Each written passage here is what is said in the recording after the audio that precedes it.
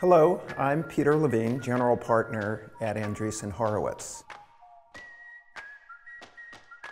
My experience has shown that the building of a sales organization and the building of a go-to-market model is actually a reproducible process.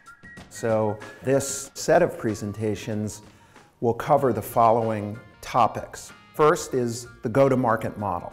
So that will be around how do I go to market, how do I decide on the model for going to market.